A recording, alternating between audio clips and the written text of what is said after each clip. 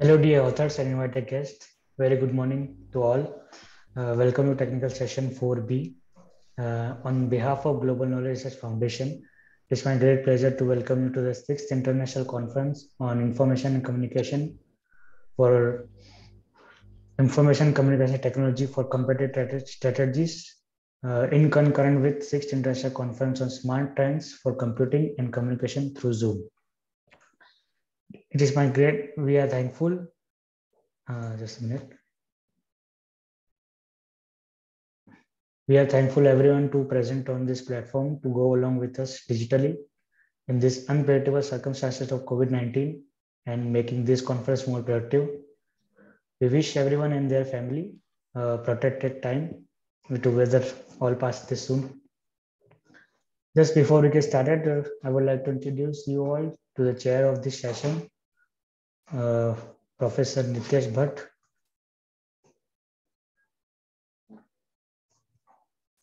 Professor Nityesh Bhatt is a chairperson of information management area at, uh, just a minute. Dr. Nityesh Bhatt is professor and chairperson of information management area at Institute at Management Nirma University. Uh, he holds an MBA degree and PhD degree uh, from ML Sukhadia University, India.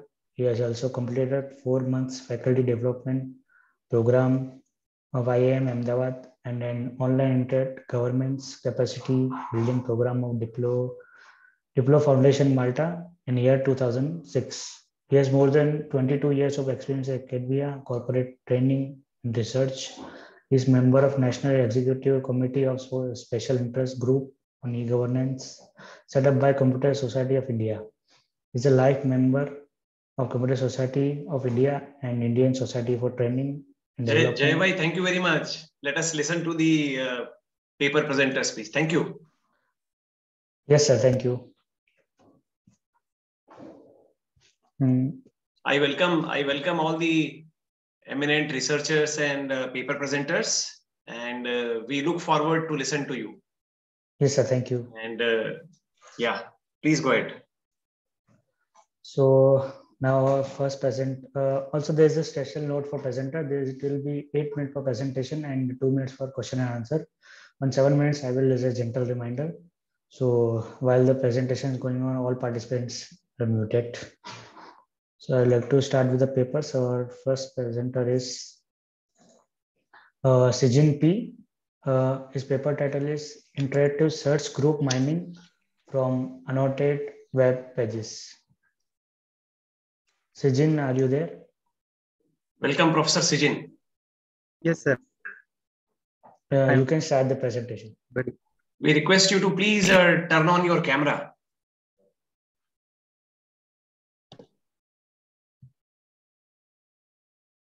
Sijin, yeah. Please adjust. We can see your shirt, but not you. Take camera a little bit on the upside, please. Yeah. Okay. Thank you. Please, please go ahead.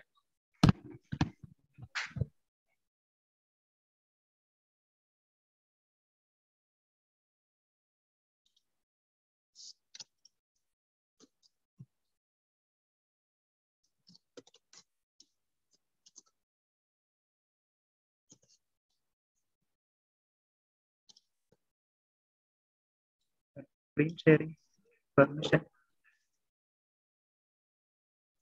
Uh, yes. You can share.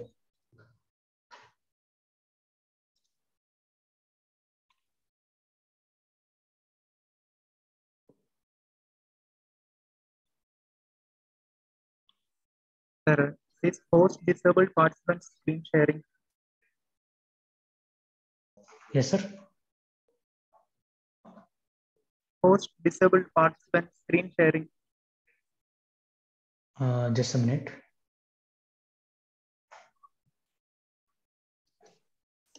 Yes, you can share now. Try.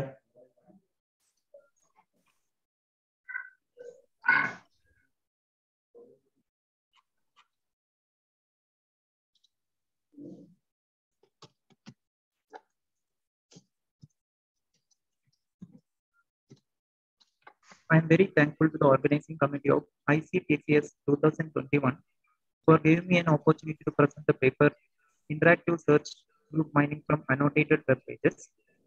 Also thankful to all the participants and organizing committee for their humane contribution to the well-being of the society.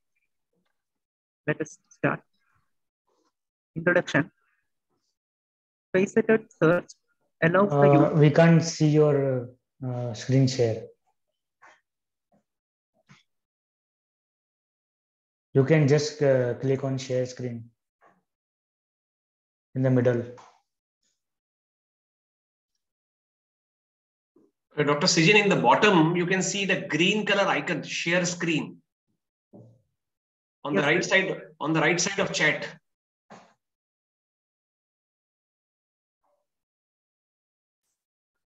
Uh, Sijin, is it visible to you? Yes, sir. Uh, but it is saying that error code 105035, sir. Is it?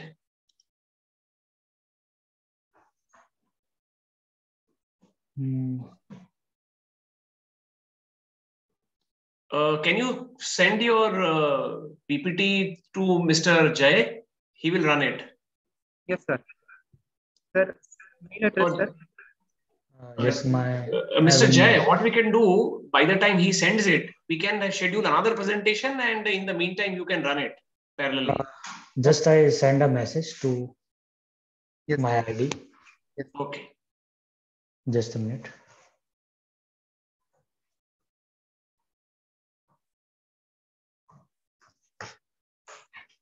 Uh, Sijin, I send you my ID. Uh, you can send me.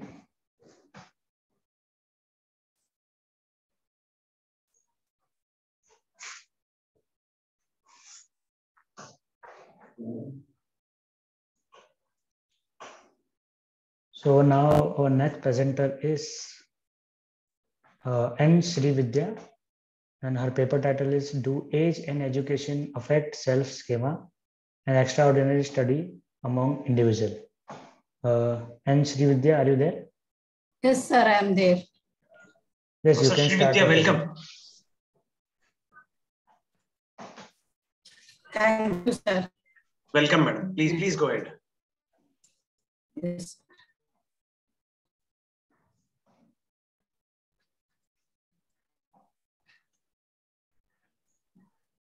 To sir. Yes.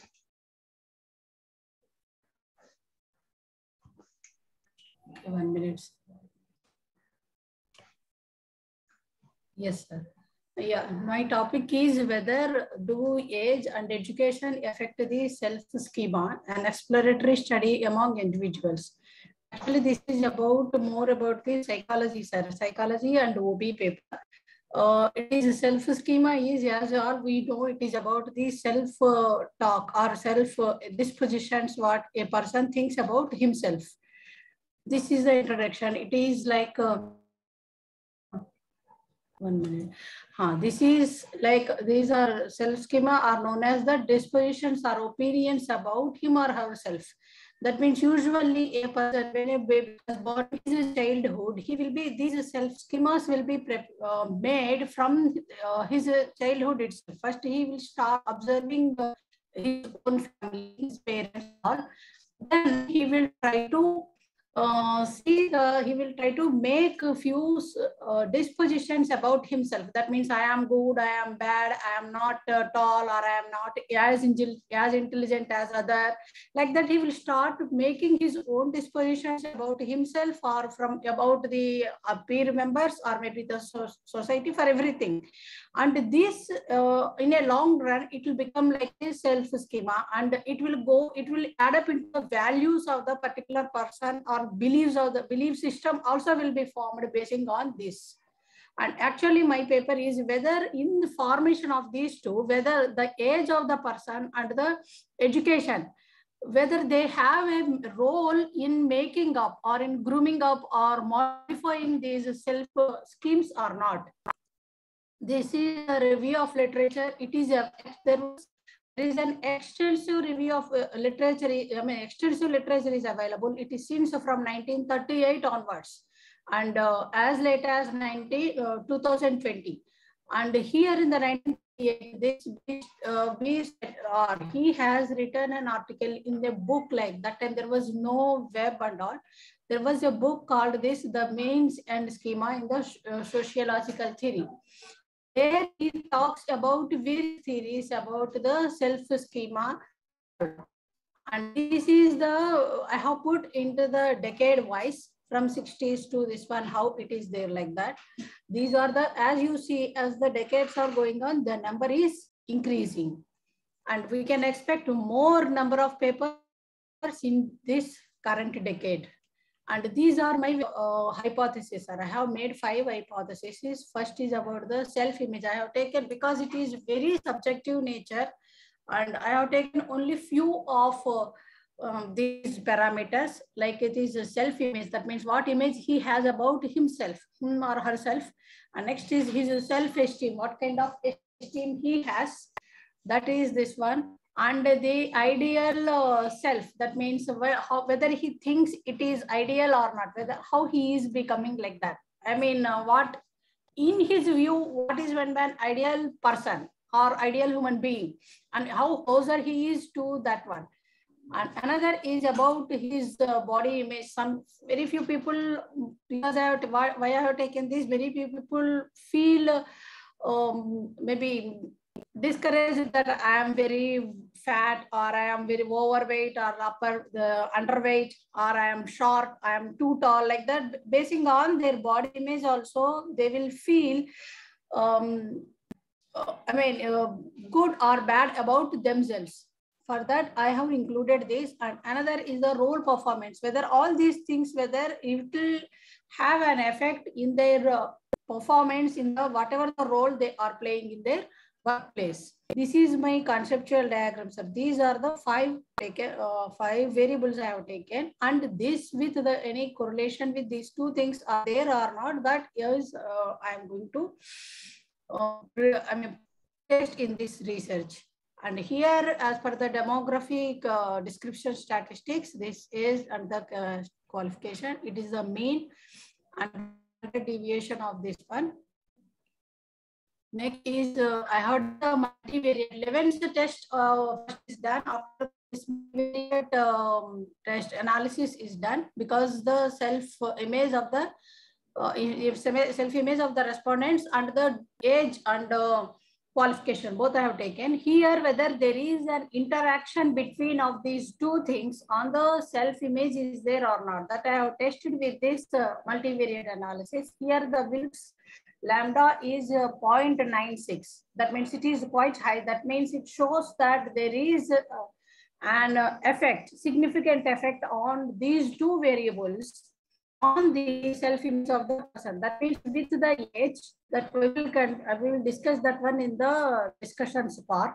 And here for the self-esteem also, if you see, the Wilks lambda is 0.997. This is also quite high. That means the interaction the effect of this age and the qualification is quite high on the self-esteem of the particular person.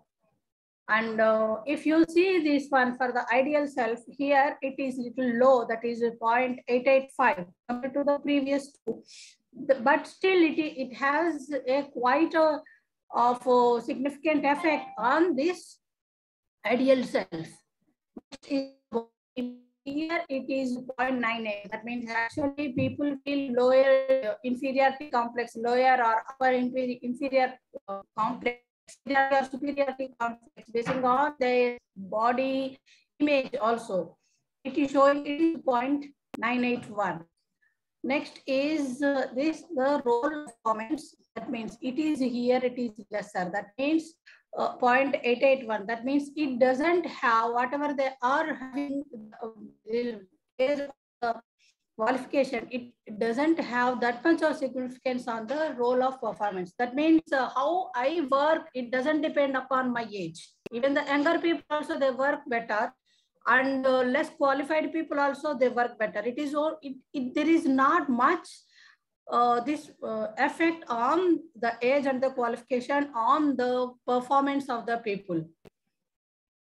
these are other results. Then uh, those things, all these things I have put it here, which I have explained just now. The Wilks lambda, Wilks lambda value and uh, F value, P value, all these things.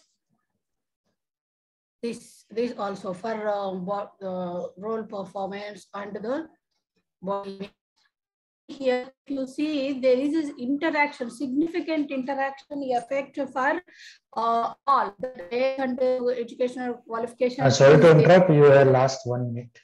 Yes, sir. This is my last slide. Here, if you see with the proper age, the, uh, as the age of the person grows, his maturity level will increase. And with the better educational qualification, he's broad-minded, otherwise he's uh, uh, knowledge will also will increase. Basing upon that, his uh, self dispositions also will vary. This is about my. I think I have put here also the maturity and the proper education and the surroundings, everything will be affecting that. Thank you, sir. Any questions, sir? Uh, other uh, authors and researchers who are available if you have any question from Professor Srividya. Okay. Uh, Professor Srividya, I have a few questions. Sure, sir. Your title is uh, Do Age and Education Affect Self-Schema, an exploratory study among the individuals. Yes. You did not mention who are these individuals, who, whom you included in your study. No, it is actually a general study. I have included more people from all uh, age categories. That means from teenager, not exactly below. No, but ma'am, what was the sample size, gender, age okay. breakup, profession breakup, nationality, ethnicity? You did not mention anything. Yeah, here people not mentioned, sir. Sorry for that. But. Uh, I have taken. Hmm. Tell us briefly. Yes, sir. The, my sample size is 523 and all are uh, from Indian people only I have taken and it is from mostly uh, across all the states I have taken, but it is not uniformly. I mean, few people are mostly from South, few are from Kolkata, few are from, from my circle. It is not uniformly distributed among all the states. And uh, the male and the female is about more or less equal.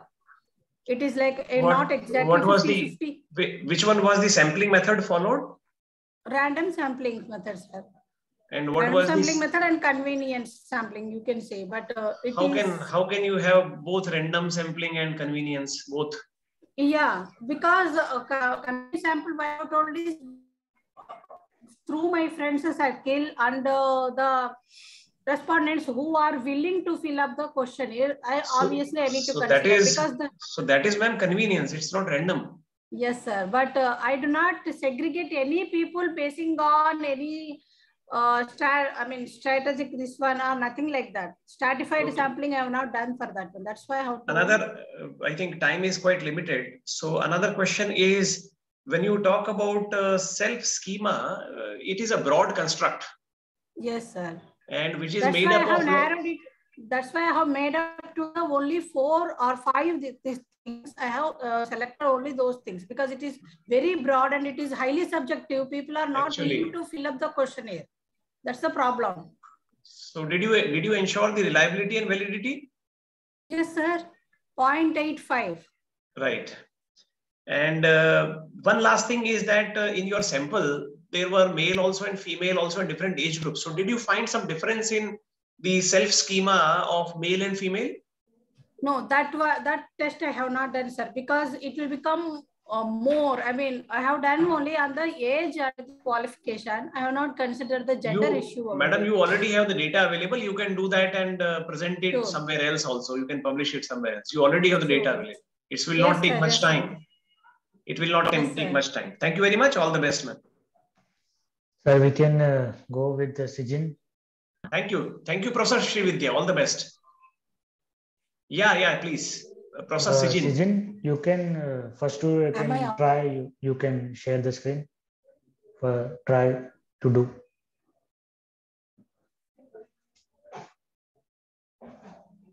Uh, Sijin.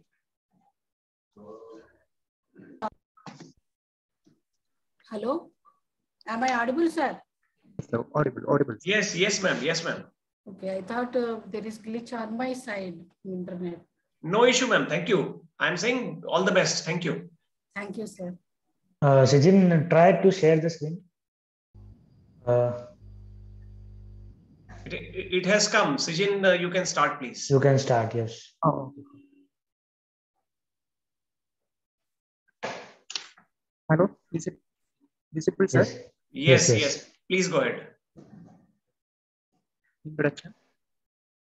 I am very thankful to the organizing committee of ICTCS 2021 for giving me an opportunity to present the paper Interactive Search Group Mining from Annotated Pages and also thankful to the, all the to all the participants and the organizing committee for their humane contribution to the world of scientific community. Thank you. Faceted search allows the users to choose the desired item from a facet group without browsing for a long time. The basic mining from annotated documents FMAR approach integrates keyword search by category browsing and produces an interface which has several conceptual dimensions. This ontology-based query-dependent facet framework follows a series of phases from initial facet weighing process to facet item ranking process.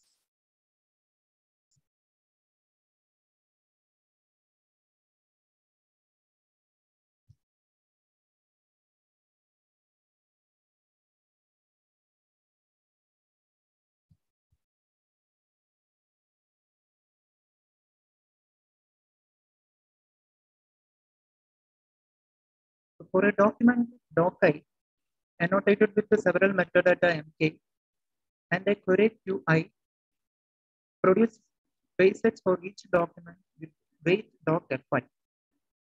So for all the documents, it is possible to use some annotation. These facets are clustered and grouped to sort out top tier search items with ranks W rank EI, where FI is the weight of each facet associated to that document and EI is the rank of an item E. So every document we are able to be annotate. Next. The FMART framework. The proposed facet mining process has various phases such as facet extraction, facet weighing, facet clustering, and facet ranking, and finally item ranking. It is nothing but we are giving a YouTube search or a Google search for a watch with our uh, desired requirements by providing attributes. So usually all the search engines we all have we are having typical algorithms, uh, state of art methods, like models, uh, TLM, similarly FMAT, different approaches we could use.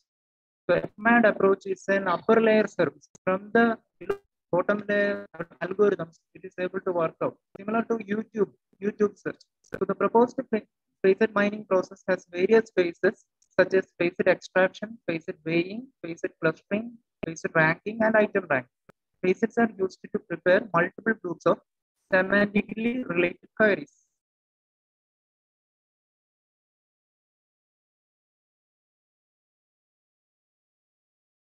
So in methodology,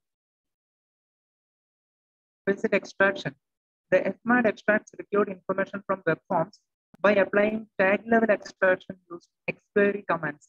So Java incorporated elements, DOM elements, HTML tag-based extraction, and extraction using repeat regions. These are all the methods we could be used for extraction, information extraction. So fuzzy construction model FCM is recommended to obtain relevant results if enough information is not available from metadata formats. So usually in this approach, web forms are giving adaptive insertion forms from author itself we are able to collect the information regarding the documents and that documents we are able to use so in diagram we are seeing different information about watch based on category brand color and type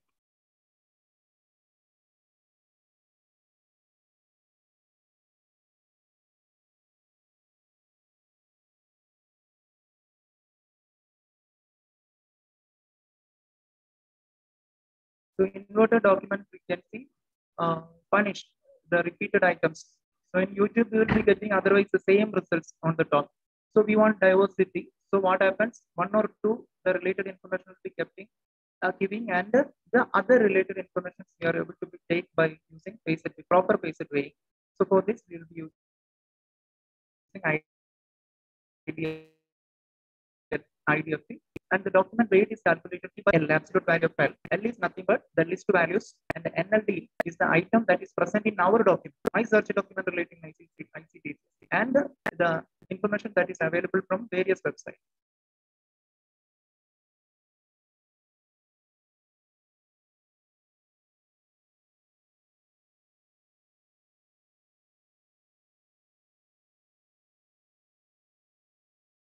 Basic list clustering process.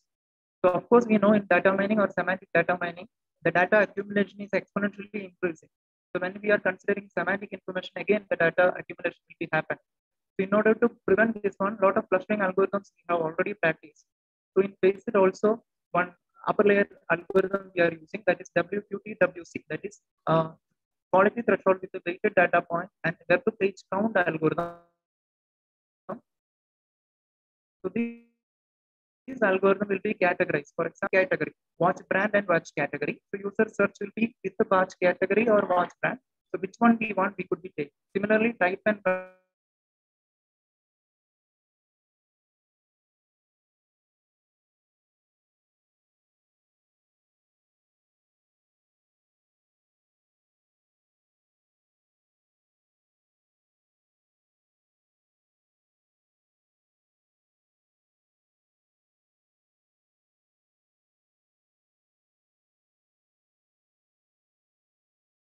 WC algorithm is a, an efficient uh, clustering based on Hamming distance and uh, the distance between the clusters.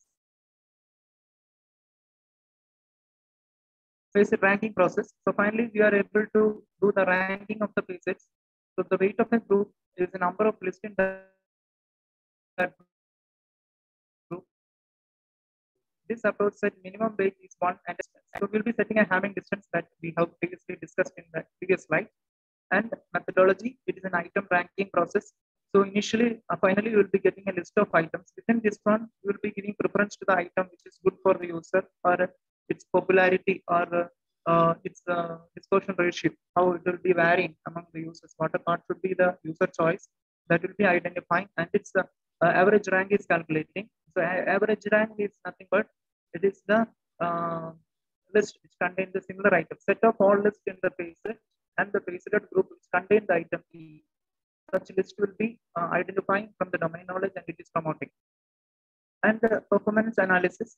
So the proposed system runs on a computer system with Intel CPU and 2 GB. All the modern configuration system could be used. And UserQ and the RandQ data sets are used.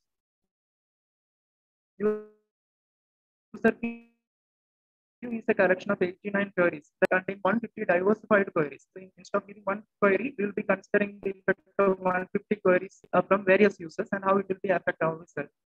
And uh, effect of list weighing method, a list which contain a term frequently, it would show a high document weight for it. But at the same time, some valid facet may degrade because of less frequent appearance.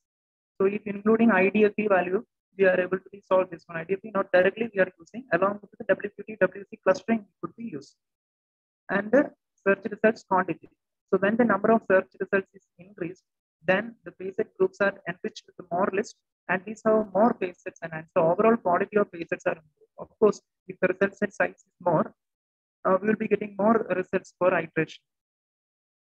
The proposed facet mining approach follows a series of phases such as facet clustering and grouping in order to organize the items for which user is able to drill down with an intention over a navigational search platform. Because of the abundance of facet results, FMAT followed a basic weighing and clustering scenario using WQT-WC algorithm. These are the references we have used.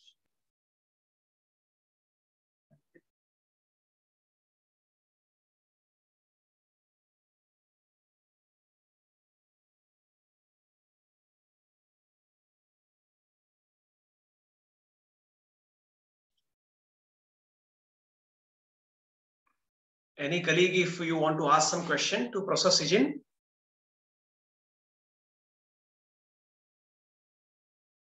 In an academic conference, uh, I think we should uh, ask questions. Okay, this will help each one of us to learn more, much more. Uh, Professor Sijin. Uh, yes, sir. Yes, please. Uh, your the from the conference organizers, the schedule which I have got, it mentions your uh, paper topic as interactive search group mining from annotated web pages. Yes, sir, of course. Indirect search group mining. Right. But uh, in your presentation, you were focusing on uh, FMED, facet mining. So both are same. Yes, sir. Uh, interactive search group mining, facet usually we will not consider annotation. In interactive search group mining, uh, the web page, uh, while uploading time itself, author will annotate. So more, more than anyone, other will knows the uh, information regarding the paper very well. So for example, it's a cyclone information or it's a hurricane -huh author will be uh, informed well, annotated well. That so what what is a what is a subset and what is supraset? Is FMED if FMED part of this interactive search group mining or other way around, or both yes, are exactly same? The FMAD is the prototype. Other is a design process for uh, FMAD. FMAD is a prototype we have designed. It is a basic mining from annotated why, documents. Why, why the word group uh, mining? yes, sir. Group mining in the sense, instead of uh, searching, aiming for a single results, a dispersed results is taken. Uh, for your, uh, this one I'll mention the YouTube, sir. Similar to YouTube, even though a search is targeting to a particular results, along with that one, some approximate or more interesting results based on the popularity of the results on the market, digital okay. market uh, what is the other results also we are providing. That is why the group term came, sir. So that uh, watch example which you were quoting, male, female, and color and everything. Uh, yes, sir. Was that just for an example, or you actually performed some research on some web pages where there was watches or something like that? Yes, sir. Yes, we have we have downloaded user data data set for uh, watches, watches that is available in the market. And based on that one that brand color type and size brand color type and size. So based on this one we have a, a cat we have classified this one. I mean what could be the user choice? So we have identified that we are unable to be get an individual interest. So collectively we will be getting. The user will be giving a usually will be a titan watch with the tin color or with the alloy framework straps like that a different choice will come.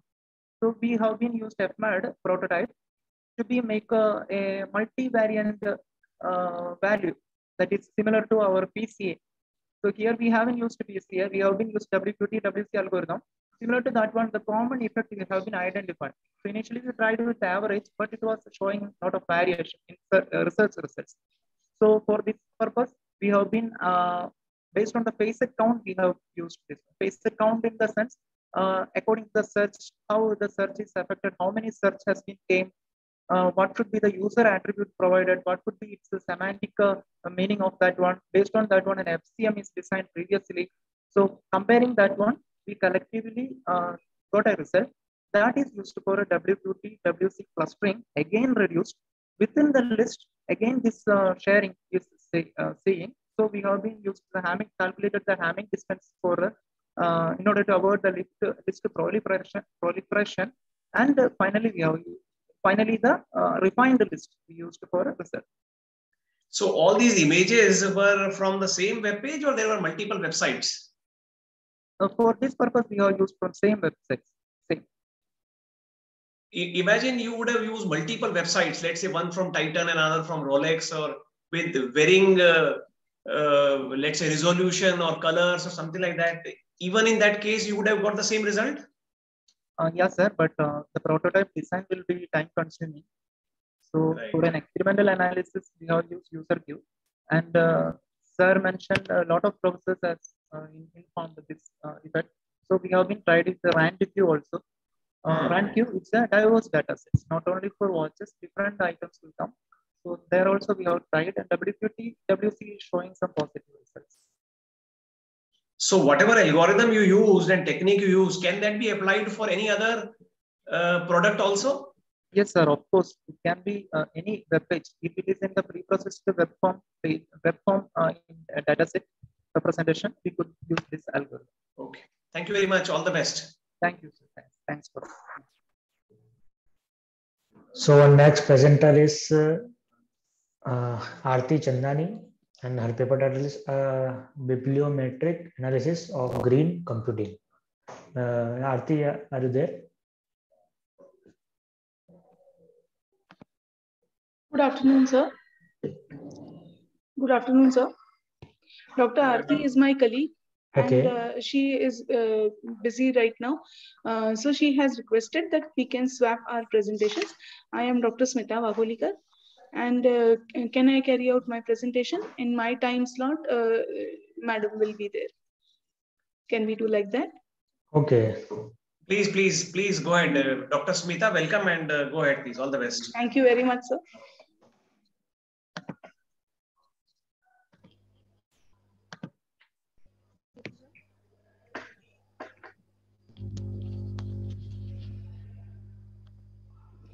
Good afternoon, everybody. This is Dr. Smita Wagholikar from uh, Symbiosis International University. I'm a faculty with Symbiosis Institute of Technology. Uh, so for this uh, presentation, my uh, topic is uh, a bibliometric analysis of e-governance and ICT. So uh, the important points what we have in this particular uh, paper is that uh, we have uh, studied uh, uh, the use of ICT in e-governance and we find that there are about 43 47% papers which are done in conference and there are some 28% which are in the journal study. Along with this, we also note one important thing. the thing was that one observation, important observation was that uh, among the uh, research papers, India is at the top of the list. We also uh, give a study into the co-authorship uh, and the keyword analysis. And this analysis we have carried out by using uh, VOSviewer. So uh, employing the ICT in government services is known as uh, electronic governance or e-governance. And uh, the main objective of this is to attain transparency and faster communication.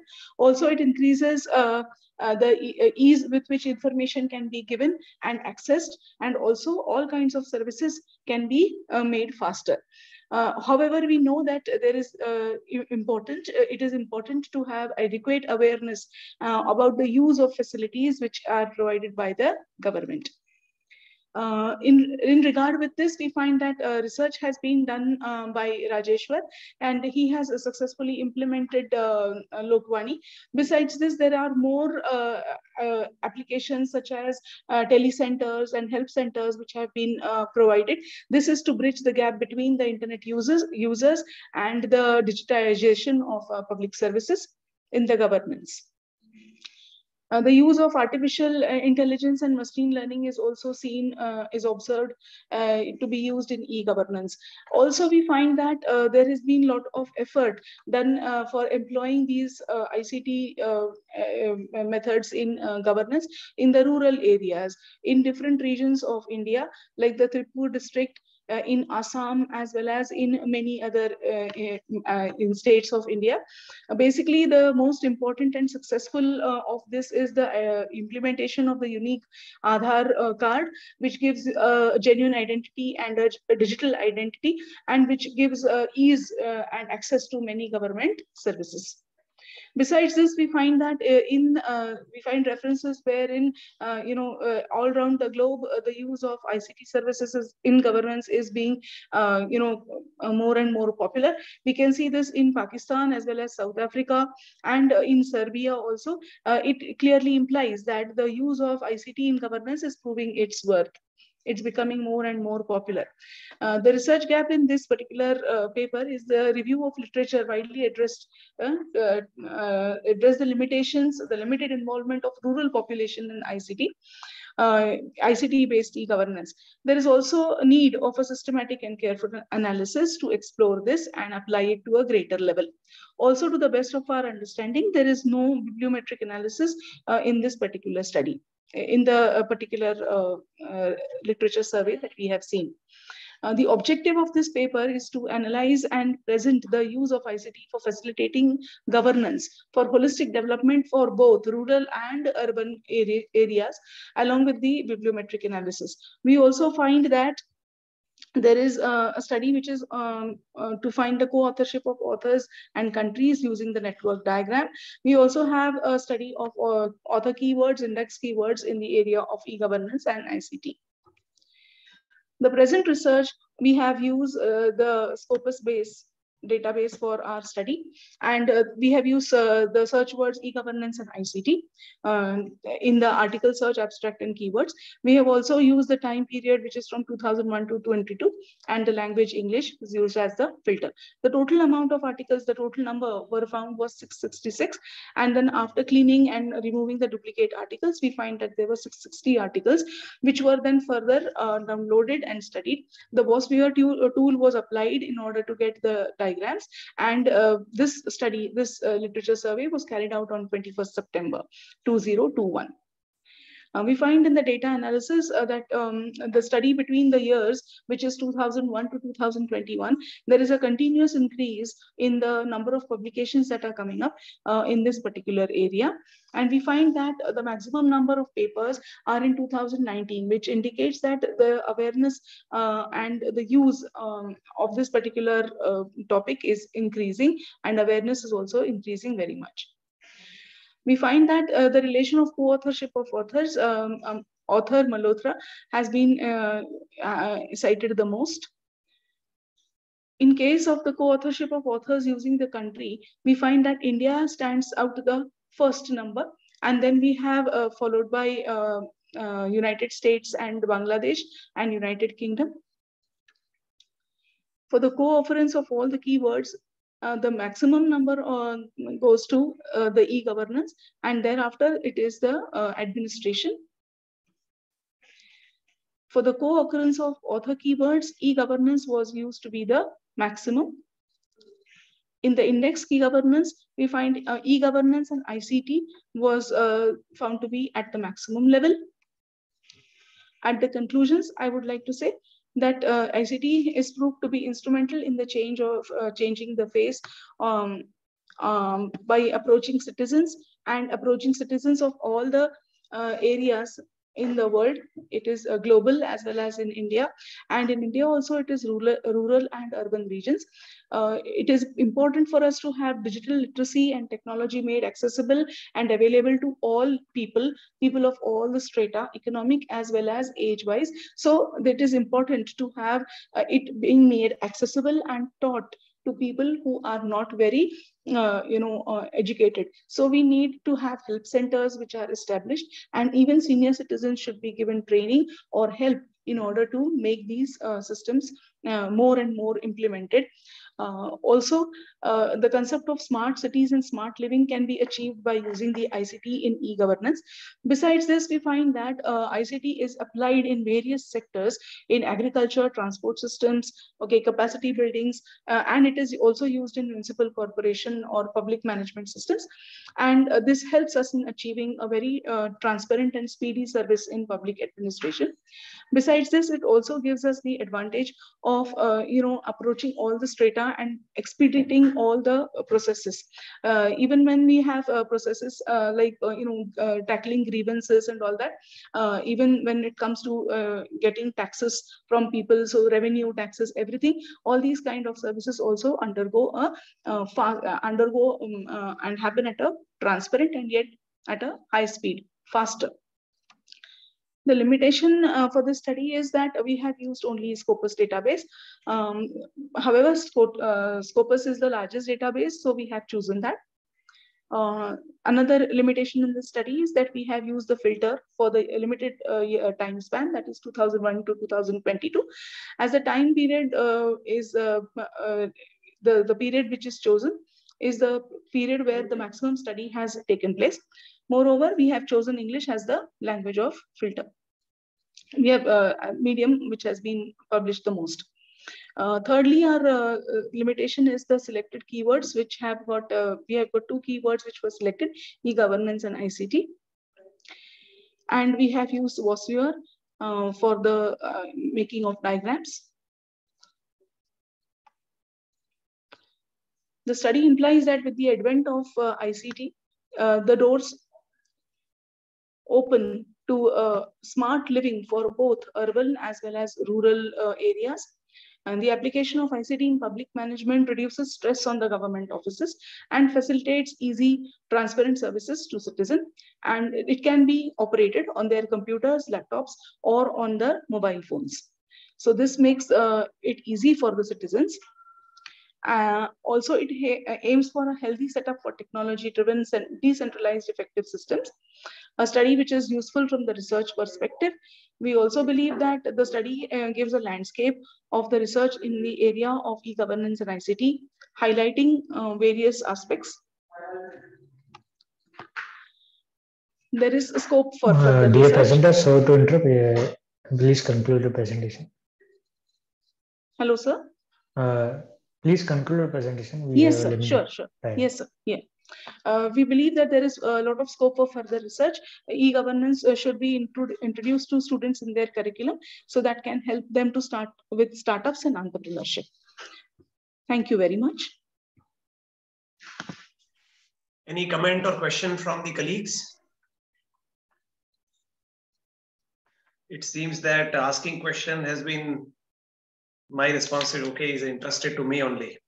So, uh, Dr. Smita, good work again. Thank you, sir. Uh, so your uh, topic is a bibliometric analysis of e-governance and ICT. Yes. Uh, ICT is a very, very broad topic and e-governance is a subset, right? Role of ICT in governance. So why you did a bibliometric analysis of uh, ICT and e-governance both? You could have restricted, you see, to only e-governance ICT means uh, e-commerce also, ICT means ERP also, ICT means security also, ICT means everything, AI, neural network, machine learning. Sir, it gives a broader perspective and uh, study from different areas can be included into it so that we sure. have uh, uh, we have a better uh, you know study over a larger uh, area that can hmm. be explored and can be brought to the notice of everybody no, so, I agree. I'm not denying that. But all the implications and the limitations and the introduction which you were giving was about e-governance and not ICT as a whole. And the title talks about e-governance and ICT. So why, why I'm asking is that your 600 plus articles which you downloaded and then you did bibliometric analysis, right, is I'm uh, not uh, sure whether it is only about e-governance or ICT as a whole. It is the use of ICT in, in e-governance use of ICT. So then it depends on how did you mention that because e-governance itself is sufficient. Then you, if you write ICT along with e-governance, then let's say ICT in education will also come or ICT for anything else for that matter. Just, just I'm asking for curiosity purpose.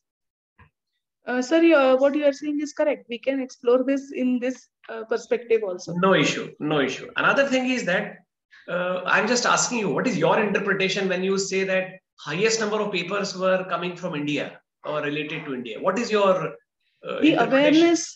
Uh, the awareness and implementation of uh, you know e-governance in India is highest compared to other countries, especially when it comes to uh, uh, you know uh, countries like Serbia, Pakistan, Bangladesh, and even in certain cases, you know countries which are very developed are a different thing. But these awareness and implementation is coming maximum to India and um, uh, and the awareness.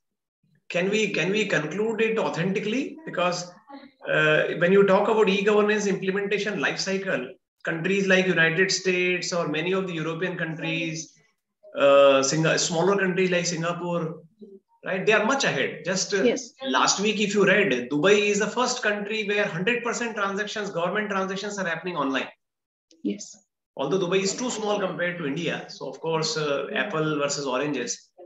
Uh, that so one one aspect of this, in my mind, it can be because of terminology. When you let's say write e-governance versus let's say digital governance, okay, or let's say government 2.0. So it may be related to a kind of terminology or lexicon also because of this uh, such kind of result might be coming right? Uh, please, please check, please check, right? Okay, or sure. government 2, 2.0 or something like that. One last point uh, which I would like to raise is that uh, certain implications which you wrote towards the end, right? They are useful, but uh, uh, to provide those uh, implications, probably you do not need a bibliometric analysis. Those can be conducted with simple literature review also, or structured literature review also, or some primary research isn't it? Please, please, please go through this because uh, I'm sure you must have done a lot of rigorous work, but eight to nine minutes is too less to explain the entire work. So I'm sure yes. you must have done justice. But these are some of the questions which are coming to my mind. And uh, uh, thank you. I appreciate and all thank the best. Thank you very much. Thank you thank so you. much, sir. Thank you. Thank you, sir. So going for. So my colleague is here. Dr. Arti is here. Uh, before uh, going to Dr. Arti, uh, Jay, yes, sir. Uh, we have first two presentations from uh, K. Sujata. Is she here? Mm, no, Initially, sir. she was not here. She is absent, sir. So in that case, third presenter is uh, D. Karthik. Uh, D. Karthika, are you there? I think she is also absent. Sir. D. Karthika is not here. Uh, then we can go to Dr. Arti. Uh, Arti ji, welcome, and uh, you can start your presentation, please. Thank you. There is a message here in the chat box, uh, Shri Vidya. But she has already presented. Okay, okay. Maybe I'm seeing the old message. Sorry, sir. Sorry. Yeah. Uh, so next presentation is uh, Arti Chandani, uh, a bibliometric analysis of green computing. Arti, you can start the presentation. Yes, I'm starting. Thank you.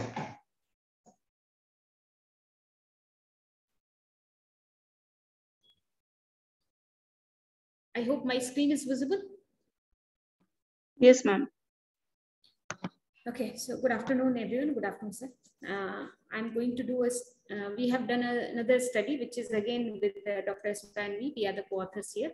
And another study is on green computing. Again, this is a bibliometric analysis. So this is the plan of presentation.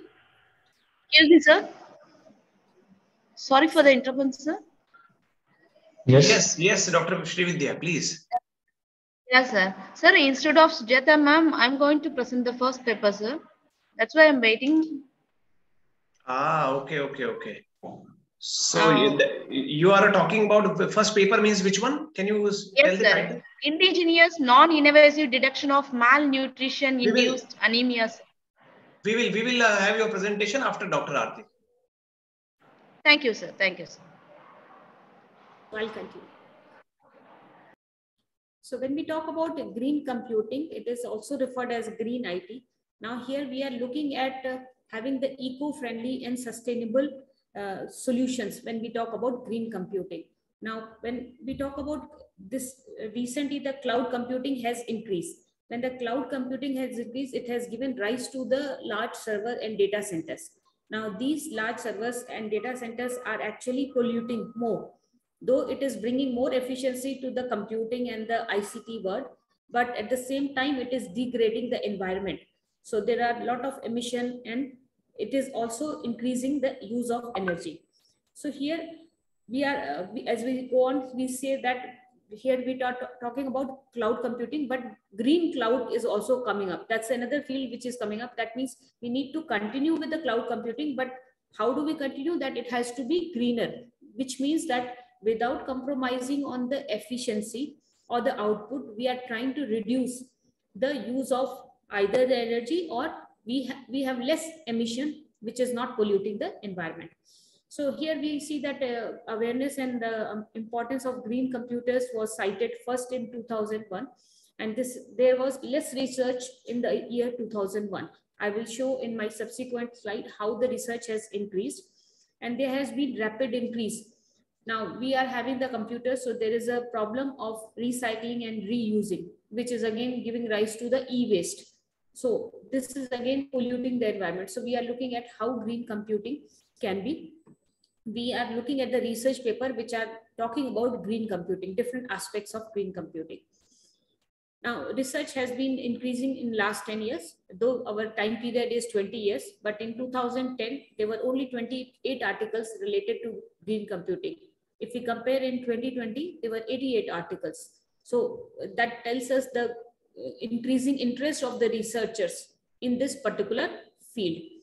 Now we are talking about this particular bibliometric analysis of green computing. Now we have used the Scopus databases. When we say Scopus database is one of the database which is largely used and it is very much user friendly. It gives us the details about the different things, but it doesn't give us the bibliometric analysis. So we have taken the files from there and then we have done a bibliometric analysis. And uh, green computing has major application in computer science, though the limitation of the presentation as well the conference paper.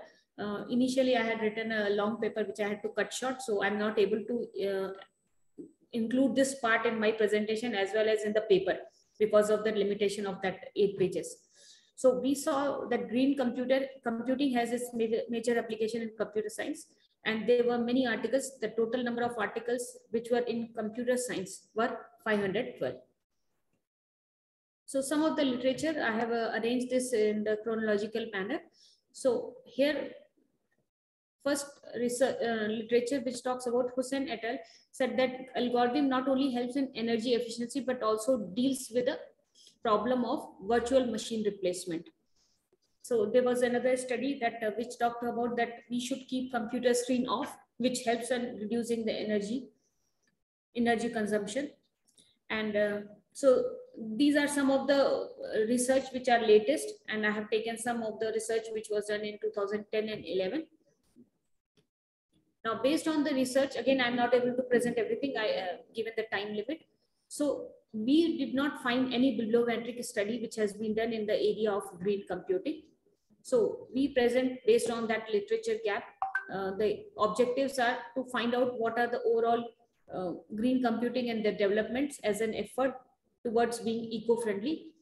We want to find, we wanted to identify which are the top cited organization and countries and what is the co-authorship of the authors. And then we can find out what are the different areas in which the green computing research has not been done, which can be actually taken up by the future researchers. So uh, in a crisp form, I have given the research design. Uh, the word which was used was green computing only. So we, when we did this search on Scopus, only green computing, two words were used. It gave us a result of 793 articles. Uh, there were two filters which were applied. One filter was a time period. We wanted to study from 2001 to 2020, 20 year period. And English as a language was a parameter which was applied or the filter was applied, which gave us total article as 790 we had to do some sort of data cleaning. Some articles were duplicate and in some cases the information was not correct. So then we got 708 articles. We used VOSviewer. Now here I present a table. Now this shows, now if we see here, in year 2001, there were only four articles and how the increase has happened. Now in 2010, 28, now we see there are 88 articles which have been published in this 2001 to 2020.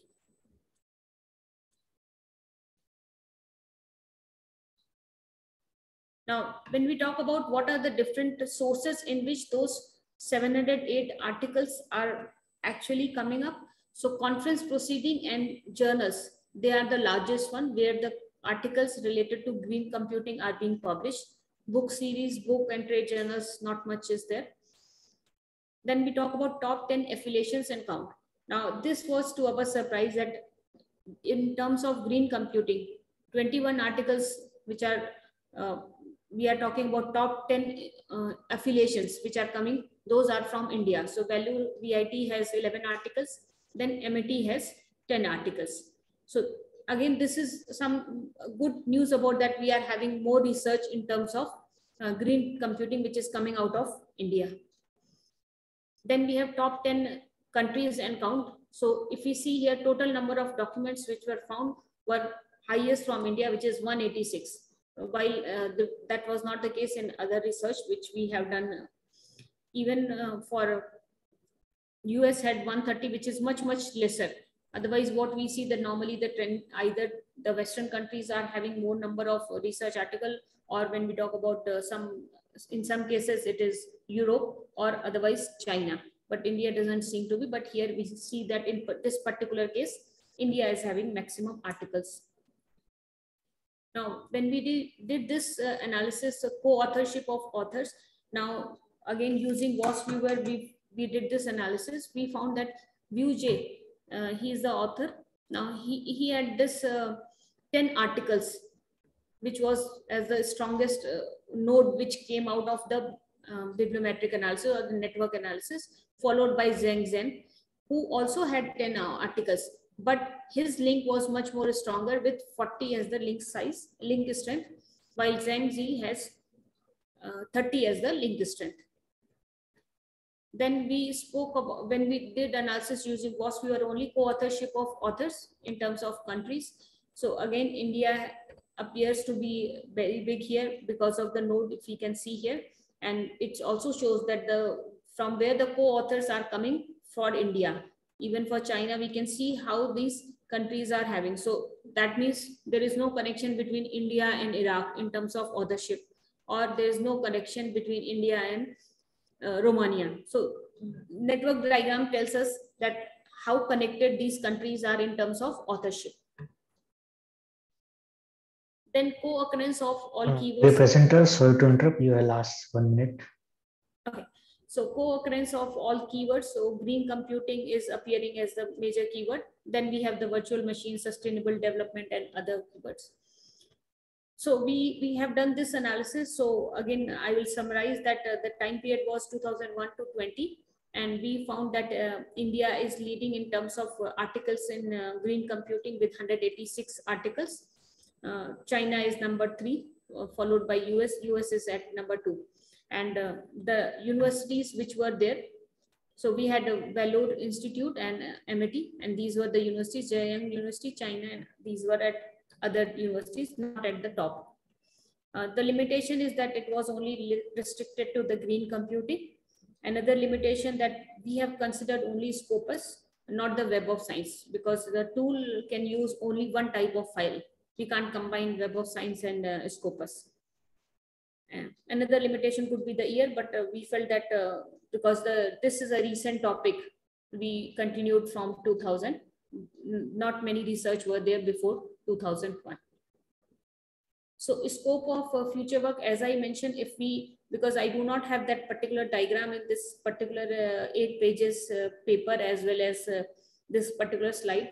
But when we see these bibliometric diagrams, now this tells us now co-author of the uh, sorry, keywords, author keywords and the index keywords. So that tells us the what are the areas in which the green computing research has not been done or the research has been done rather it tells us. So the areas which are interlinked we can talk about that research can be done in those areas. So that gives us the future scope of work. So we we are proposing here that we can talk about uh, green computing to be um, done now another aspect which has come from the literature also that the concept of green computing should be taught from the school level. So if that is that is going to happen then how does it relate or how does it help in overall awareness and perception? That can be another area of study. Now these are some of my references with uh, not some these are the only references. I mean i had 19 references which i have used here. Thank you very much Thank you, Dr. Aarti. Any question, uh, if anybody wants to ask Dr. Aarti? Okay. Uh, Aarti ji, few questions from my side. Yes, sir. Yes, sir. Uh, I was just looking at that diagram. Uh, I was really curious to find uh, climate change as a word along with uh, this green computing, but surprisingly, I could not find that. Uh, so maybe authors did not relate. So of course, uh, nothing that you could do, but uh, that is one of the emerging area where green IT or green computing can be connected with climate change initiative which are taking place across the globe. Yes, sir, agreed. Because when yeah. we have cited some of the literature does talk about that. Yes, but at least in those the diagram it was not coming. I was curious to see that. Yes, sir. Uh, another very important dimension is uh, because final accountability or onus uh, lies with the government and uh, intergovernment alliances. So all these initiatives are taken place. Okay, Paris Accord, all these kind of aspects. So government accountability. So regulation will play a very important role. Regulation and policy framework. So that is another dimension which uh, is required. Another third thing which I was curious to see twice because you went and I was observing, I could not find e-waste, electronic waste and those kind of issues, right? So a lot of things are there, but yeah, these are the some of the uh, things which uh, probably should have been there and somebody can uh, do research in these areas also. Agreed, right? yes. But uh, what is your broad uh, understanding of uh, green IT? where all do we see green IT? So green IT is now picking up. It has not yet picked up. Actually, we were talking about IT and IT, use of IT only. But uh, hmm. we, are, we were trying to improve the efficiency everywhere. The focus was on improving the efficiency, how much better we can get. But we did not focus on how much you know it is actually polluting the environment. Now that consciousness has come off late so we are talking about cloud computing. So yes, it improves, it helps you. But at the same time, it helps in degrading the environment also. So now there's another concept which is coming up as green cloud compute, green cloud.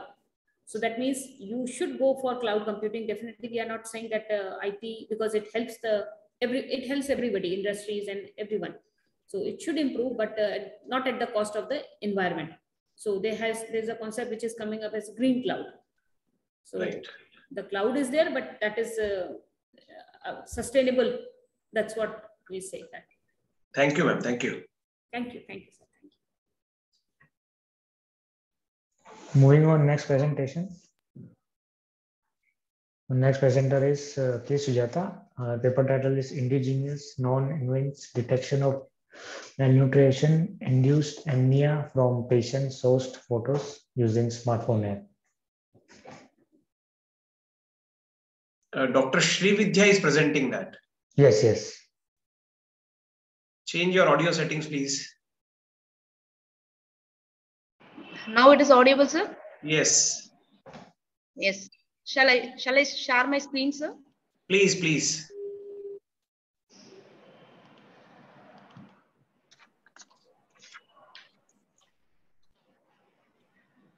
Sir, my screen is visible to you, sir?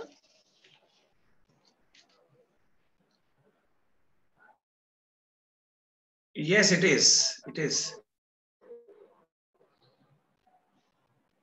Yes. I'm going to present indigenous non-invasive detection for of malnutrition-induced anemia from patient-sourced photos using smartphone app. So healthcare is a right, not a privilege. Nearly in our total population, so many people are affected due to vitamin deficiency and malnutrition and as well as anemia. So I'm uh, going to. Madam, excuse me, madam. Yes.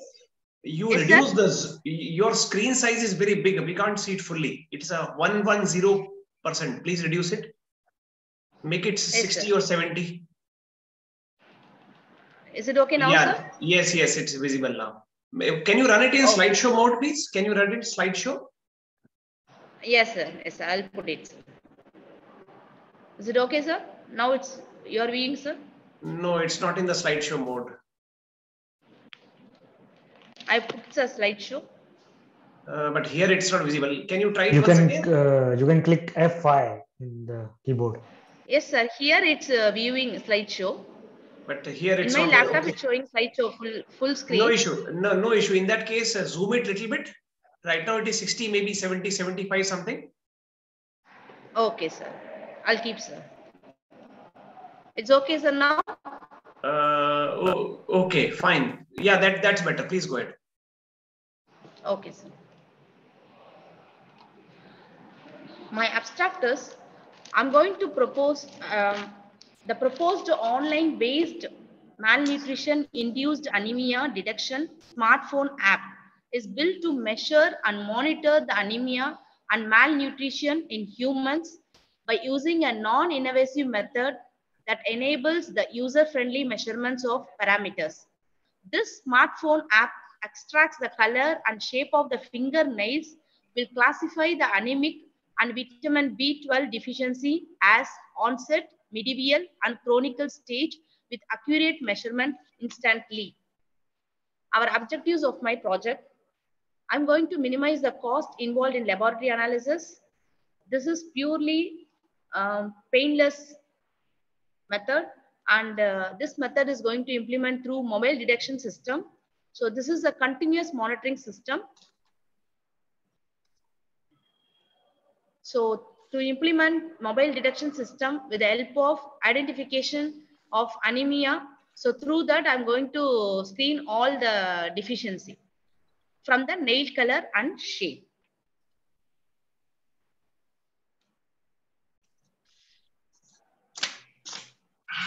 So the, to nullify the time delay, because if you give, uh, if you're taking the blood samples means you have to give to laboratory and you have to wait for the getting the laboratory result.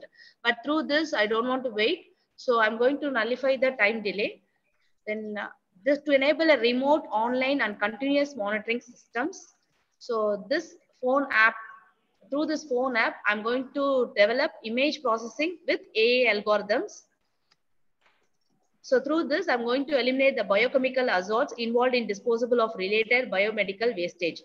If, if I want to take blood samples means I have to use syringe and needle, but through this method, I'm going to eliminate. So that, uh, that is uh, nothing but biochemical azotes involved in disposable of related biomedical waste.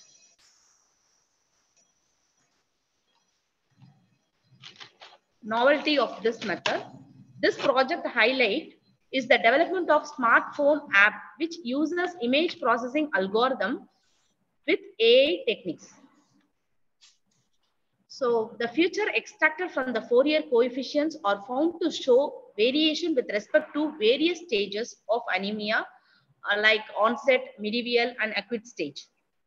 So our aim is to develop a non-invasive, contactless, online, continuous and cost-effective smartphone app for detecting anemia and other parameters such as malnutrition, vitamin B12 efficiency, etc. So this system will offer an effective detection system and is user-friendly, self-oriented diagnosis without the help of a clinic, clinician. So uh, with this per chart, I, we worked all in a team. I'll go to the methodologies. First, I have to capture the nail images or captured using smartphone with good camera facilities. So after that, these images are transferred to laptop where it is pre-processed. Uh, after pre-processing, the noise is removed. So denoising images, from the denoising images, the features are extracted along with the shape descriptors, which are used to as inputs to train the train, test, and validate with backpropagation algorithm. An automatic selection algorithm is used to identify the region of in interest from which nail color and shape was extracted with 786 pixel. This procedure is implemented using MATLAB program simula simulation studies at our organization. So through this, I have got the result with all uh, criteria. One is anemia, another one is uh, HB, another one is uh, B12, vitamin B12 deficiency. For everything, I have took the result through by simulation. So this is my flow chart, what I told now. So by working out the flow chart, I'm going to get the classification efficiency almost up to 97 percentage.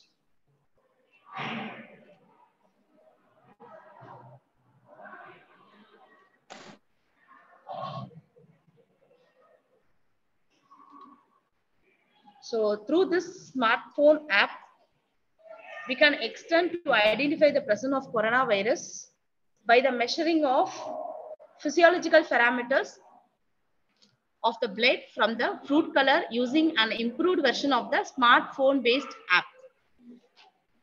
Thank you, sir.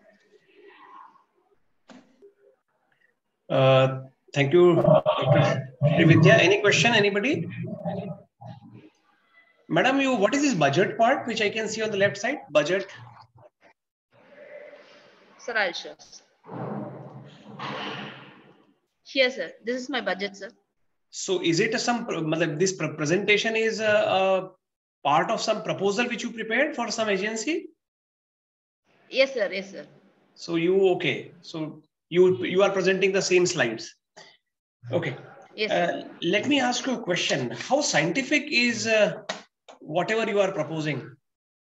Is it being implemented anywhere in India or outside?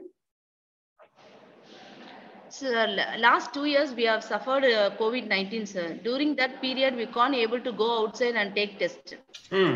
True. So for that, we developed the smartphone app, sir. So through this uh, so smartphone app, whatever the details uh, we can uh, database, we can put it in that. Through the neural networks, we can work it out, sir. For any, so for that, whatever images we want, we can able to collect it. No, I'm not denying so that. For finding out the anemia position, we need to collect the nail images. So we have collected nail images, sir. Madam, I'm not denying that. Corona is a menace, it's endemic, it's a pandemic. I'm simply saying whatever you are proposing, how scientific is that? Can it really be judged? So what is the efficacy? Is it being implemented anywhere in India, United States, anywhere? We have compared our result with the laboratory approach, sir. That we have done in our medical college, ACS Medical College, sir. Ah, so what is the outcome? Similarity now we are planning to get the pattern for this, sir. Then we will uh, work it out in the real no, scenarios. No. Madam, I'm saying, are there some results available? Or it, it, is it some simply yes, theoretical proposition? We, from through simulation, we got the result that we have compared with the laboratory approach results, sir. We got the classification efficiency up to 97%. We got it, sir. 97%? Yes, sir. Okay, okay, okay, okay. And uh, what is the, so what kind of smartphone app you used? What, what is a prerequisite in terms of camera and resolution? Good pixel camera, sir. Android, Apple phone we have used, sir. Okay. Okay, okay. But uh, outside India, whether such kind of uh, things have been attempted anywhere? Uh, so far, they have used using embedded sensors. Sir. Through that embedded sensor, they have took the image and they have processed and they have given the output, sir. But okay. instead of that embedded sensor, we have included that in uh, smartphone apps. And let's say this is implemented, uh, what will be the challenges? Uh, through this smartphone app, we can able to take all the images corresponding to for the next uh, paper I am going to present the same smartphone app sir. You, okay. I'm going to detect my COVID-19 cases sir. You are going to detect COVID-19 patients? Yes sir. How will this detect in that? Next in next project I am going to give that uh, clarification to you sir. Okay. I have one more paper to be present sir. Okay, Chaliye, thank you very much. All the best. Yes, sir. Thank you, sir. Thank you, sir. Shall I present the next paper now or some more time, sir? Oh, that uh, geospatial information? I have uh, first paper and second paper is mine, sir. Yeah, please present Through that. Please, please go ahead. Yes, sir. Yes.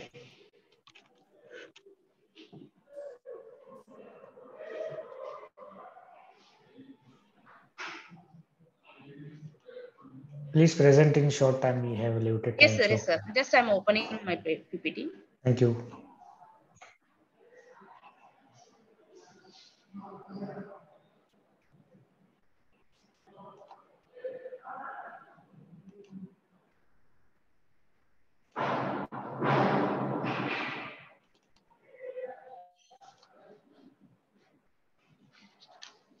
Sir, is it visible, sir? Yes.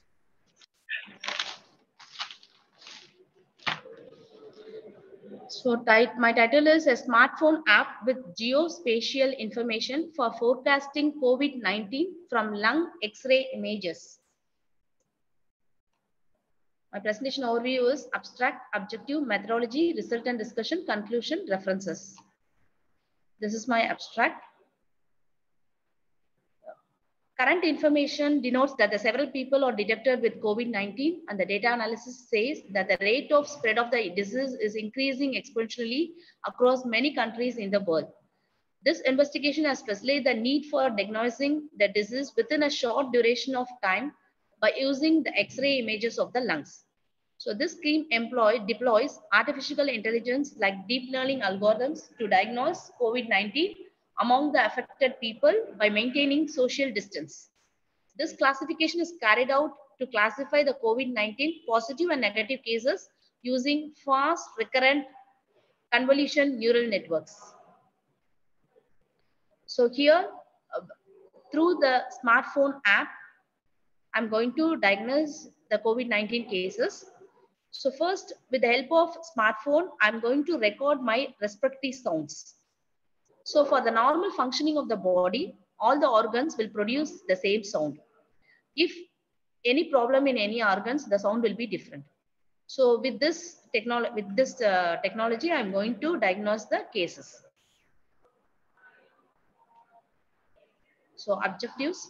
So here I'm taking 20,000 samples of the patients which are affected from COVID and also the normal person. Here with the help of respiratory sounds, I'm going to the, take the X-ray images of the lungs with uh, by the convolution fast recurrent convolution neural network techniques. So after that, I'm going to uh, tell whether the person is affected or not. If it is affected means see immediate action to be taken or it, if it is light, they can take it their uh, tablets own. Like that, I'm going to judge. So with this technology, even very low income people can also use this technology. This is my objective.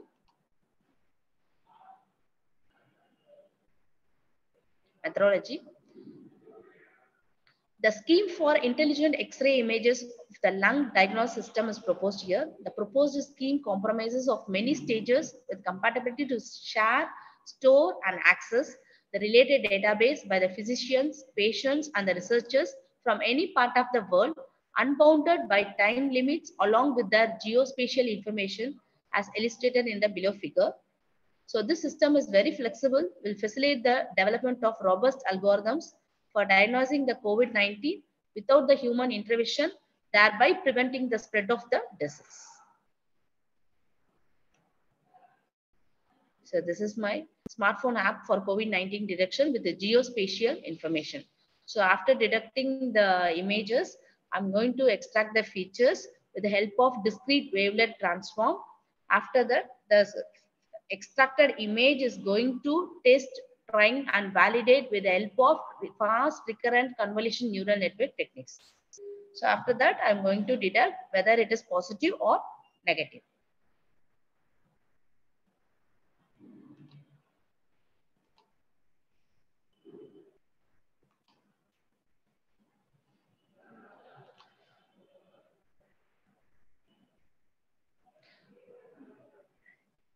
So all the organs in the human body create a unique sound during the normal functioning periods. When there arises an abnormal situation, the sounds vary will have the variation in the amplitude and the spectrum levels. So a correct indication of the COVID positive can be detected from the X-ray images of the lungs. This smartphone-based app can produce the equivalent result as that of the swab test through laboratory analysis. So these this laboratory analysis also be done it on the ACS Medical College.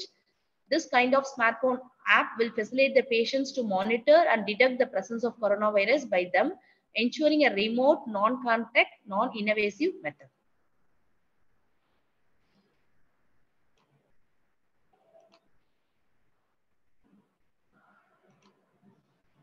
So conclusion, segmentation of X-ray images of lungs along with the geospatial information and segmenting the homogeneous this non-contact type of remote COVID diagnosis system is used to detect the region of interest from X-ray images of lungs along with the geospatial information about the patients.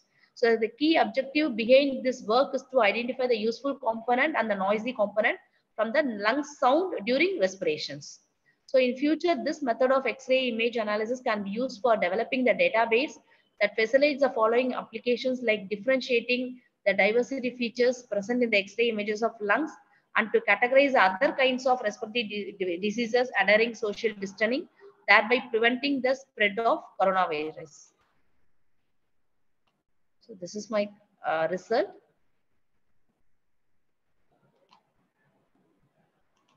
These are my reference. Thank you, sir. Uh, any question? Uh, three questions from my side. Uh, Madam, yes, I'm audible? Yes, sir. Yes, sir. You mentioned in the beginning that you collected data from 20,000 people. Uh, yes, sir. 20,000 samples we took, sir. Uh, that we took from the government hospital, sir. You collected it from government or department? Yes, sir. Okay. Okay, so that is one part. And what was the division in terms of how many were corona infected and how many were normal? Pardon, sir? You mentioned in that 20,000 data set ki Yes, some sir, belong yes, belong to people who were infected with corona we and some random, were sir. We took random. We took randomly. We took sir. No, no. But uh, what was the division? How many were corona? Twenty thousand samples. Okay, that I didn't took sir. But we took twenty thousand randomly. In that, most of the patients are affected. Corona patients. Most of the patients are normal. Okay. Second aspect is you mentioned that once you are having X-ray, you will take photograph to determine uh, once we if we have x-ray then doctor can determine uh, the level of infection why do you need a photograph in that case no sir with the help of the i'm going to take the respective sounds from the sounds i'm going to take the images of the lungs how the uh, Im images of the lungs of a patient should be after that only i'm going to tell whether the patient is affected by covid-19 or not no so in that case do you require Respiratory sounds you sound which sound? Respiratory sounds. Respiratory sound. Yes.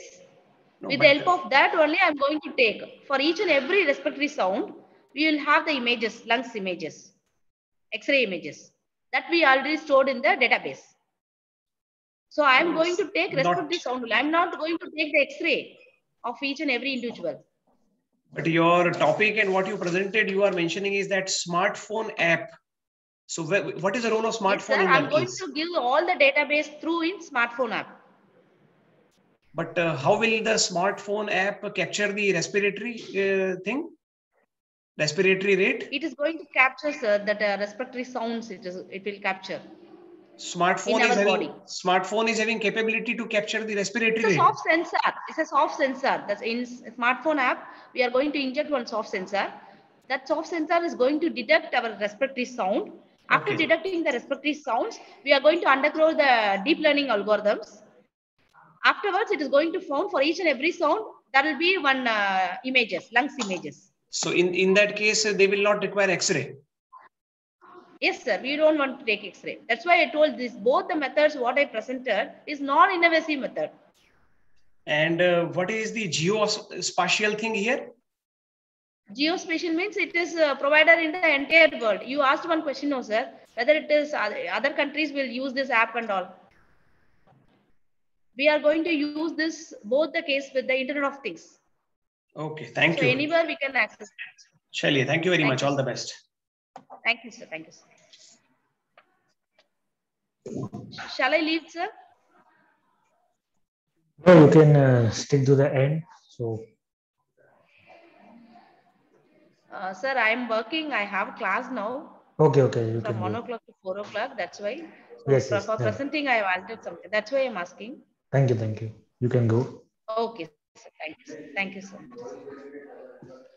So our next presenter is SS Garde. Uh, his paper title is Grab Thought Model of Consciousness for Classifying Thoughts and Identifying Mental Status. Very interesting topic. Uh, are you there? Professor Garde.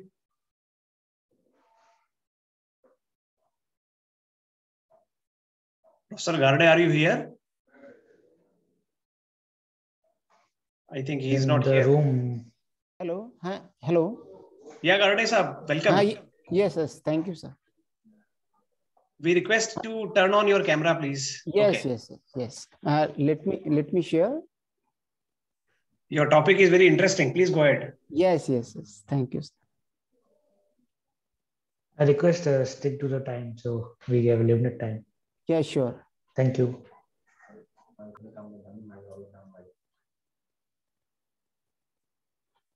Is it visible, sir? Yes. Presentation?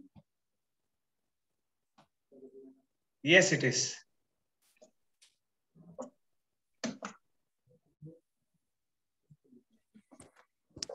Okay, sir. Thank you very much, sir. Uh, I am uh, Sanjay Ghade here with presenting uh, uh presenting my uh, PhD research work. Uh, the name of that topic is Grab Thought Model of Consciousness for classifying thoughts and identifying mental states. Here the content contents are, I will discuss this introduction, then related work, proposed system, and some experimentation. And afterwards, I'll conclude with my uh, research, uh, this uh, presentation. So uh, basically, with the emergence of artificial intelligence, researchers, most of the researchers have focused on human uh, intelligence, we should be inculcate inside inside the machines. So uh, that uh, means what happened during means putting that intelligence into the machines. Uh, we need to add some added values. That means uh, while taking the decisions, we are we are taking the decisions with the help of data okay but what, what means that decisions were qualitative or not that means whatever the thoughts which arise in our mind that thoughts should be qualitative that means uh, the person who is educated can use its knowledge either for constructive purpose or destructive purpose so being a human intelligence, we can identify it, whether it is constructive or destructive. But in machines, uh, in artificial intelligence, that, uh, that kind of decision making, which are based on the values of the human system, uh, are missing. Okay, and uh, due to that, uh, means I am focusing on that area of uh, adding values to the artificial intelligence and which come up with now the new term that is artificial wisdom. Okay, so uh, I'm focusing on that artificial wisdom and the, hence my objective of this paper is to discuss the computational model of consciousness which classify the thoughts which emerges in the mind uh, and identify what is the mental states uh, after arising uh, all those thoughts. It is uh, basically the field of uh, cognitive science where I have worked and what I have prepared is it is a computational cognitive mod model which predicts uh, humans react, uh, how humans react uh, in a specific situation. Uh, in the related work or existing system, the uh, many researchers have prepared the com uh, computational models in the field of some sort of conscious consciousness, where machines may react like a, a human, or machines machines are capable to think like think like a human. Okay, uh, so in that respect, the scope of this research is broadly visualizes and focuses on the harmony of the mankind and its sustainable development by uh, adding value uh, uh to the uh, to the thinking, to the machine thinking. Now, the basically the concept of computational model has been traced out in first first stressed traced out in 1973 in the book uh, computer models of thought and languages where number of uh, different nine models were present uh, present over there. And uh, they prepared uh, some uh, some models small or little models and they proposed their the very first model of consciousness in the in that book. Then in 2016 one of the one of the student from international Indian Institute of Information Technology, Hyderabad, introduced one more computational model, uh, which having which is having a name of Pacman. She identified the personality traits, uh, traits by using uh, by using the mental factors which are uh, described in Abhidhamma model. Mental factors are nothing but the mental states. What is that mental states? Uh, mental state. Then in the similar fashion, in 2013, uh, Eric, uh, Eric Love from uh, Stanford University investigated the novel computer simulation of mind using Buddhist theories. The proposed model is composed of mecha mechanics of human consciousness and cognitive processes. So the similar fashion I am going to uh, adopt uh, this kind of Buddhist theory while uh, identifying the thoughts of human being through my proposed model of a graph thought model. Similarly, this is one of my basic uh, base paper that is uh, for uh, which is uh, miss, uh, which I have gone through it, and it is of Banerjee and Paul in 2013. In that paper, the arousal of thoughts has been demonstrated through that Z numbers, and emergence of thought is implemented, but mental factors were not addressed in this paper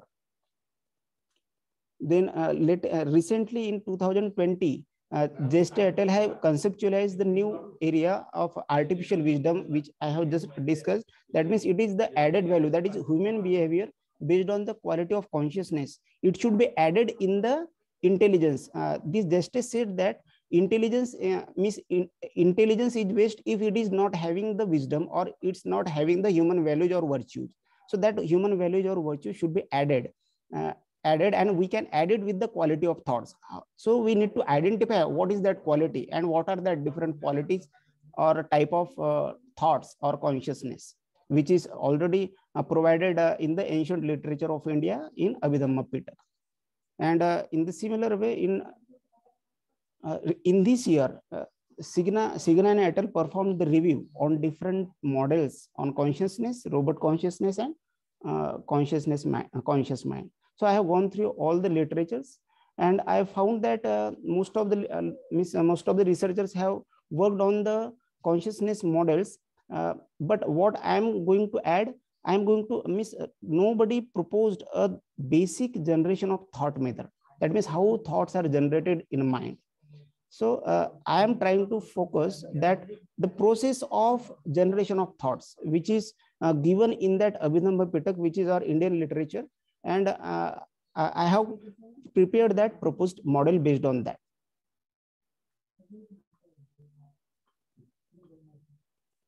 Uh, this is uh, in the in my proposed system it is named as a graph thought model Gharda Ramteke Abhidhamma based uh, thought model in that proposed thought model the process of generation of thoughts uh, is explained, which is already explained in the Abhidhamma literature, where uh, during the thought process which come into our mind, that thought process gone through the number of steps. That means uh, that num uh, 14 number of uh, steps are given here. It is already available. You can see this. Uh, see, you can see it in the slide. Okay, and all these 14 steps I have I tried to cover in my proposed model. So whole model, I have divided that whole model into understanding phase, consciousness phase, and action selection phase. Okay. So here, uh, what I am trying to do is uh, generally whatever thing a thinking process starts in our mind, it is only due to uh, due to the experiences that we are having after getting uh, uh, experiences we are having and what we are perceiving from the uh, from our different senses or sensory organs. Okay. So in our work, uh, there is one limitation that uh, sensory means I am considering only one sensory organ that is seeing, that means observing by eyes, because I am taking input from the uh, user. That means I am showing one image. Uh, I am showing one image to the user and asking three questions to three three questions to them. That means what is in the image? Do you like the object in the image or not? and uh, write three sentences in simple English language. By, by that way, I can uh, process, make, uh, make a process on it. Okay, so that's why uh, rest of the parts of inputs, that is hearing, smelling, uh, tasting, touching, these are uh, these are the limitation. This means I can, I could not do work on that. Okay, so this is just a limitation. So in the proposed system in understanding phase, I have taken inputs from the user uh, by showing one image and uh, uh, then that user responded to the image and um, I have recorded their answers, which I have I have received through the three questions. Then I pre-process, I perform the pre-processing on that input through that identifying objects, then bag of words, fetching words, and uh, uh, cleaning like it. Okay, and here memory processing unit, that means uh, experience that means already what is stored in the memory by getting this content from the memory and the input then i prepare one uh, rule of thoughts. That means how dear presenter please conclude the presentation. Yes. So this uh, this is the main uh, theme of the project where non-axiomatic logic is applied. And uh, after applying that non-axiomatic logic number of thoughts are uh, thoughts are identified through the through it. And I identified that thought with the help of uh, CNN. Okay, that thought can be uh, unwholesome, wholesome, resultant, or functional. And uh, I identified along with that the mental state. What was the mental state of that uh, candidate? Is either it is, it is uh, ethically variable, unwholesome, or beautiful. So here, this is what how our mind is uh, mind is thinking by uh, by collecting the number of words together uh, through the uh, through the experiences okay uh, i use this support and confidence and uh, frequency for this for this one this is the result i compared all the results here I uh, mean I I uh, applied three different techniques: CNN, KNN, and SVM for classifying that thoughts and mental states. What I found that CNN is providing the better results.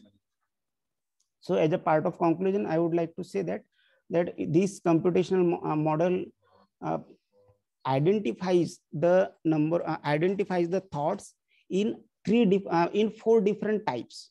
Basically there are 89 types uh, in the literature but i uh, categorize all the 89 types into uh, basic four types for the sake of simplicity. The results are uh, uh, com uh, comparatively 91.77 which may be again improved improved i am again working on that wor working on that part again this research paper will give new insight to the researchers for cognitive science to think about the process of consciousness by considering Buddhist psychology. Thank you, sir. Thank you, sir. Thank you. We wish that uh, you take this research to newer heights in uh, yes, sir. cognitive yes. science. I wish uh, we had more time to listen and understand from you yes, about consciousness and all those issues. Thank you. Thank you. Thank you very much, sir.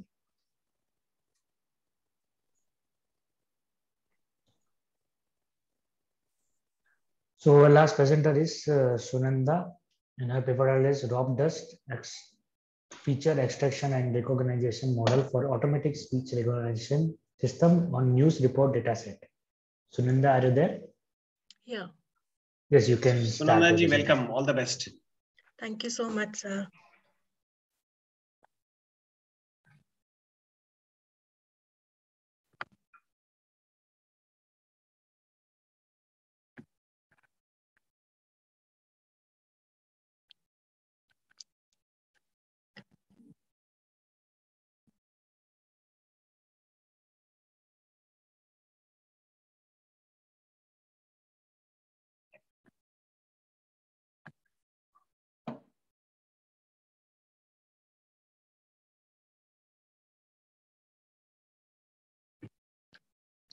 So uh, is my screen visible, sir?